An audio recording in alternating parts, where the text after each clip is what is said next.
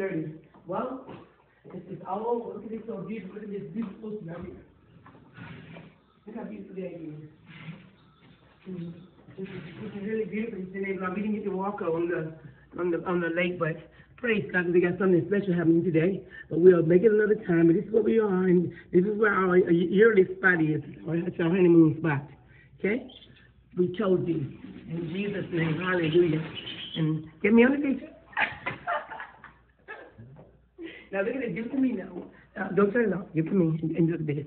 This is really me and my set together. Don't know how it's gonna record us, but there we are. See it?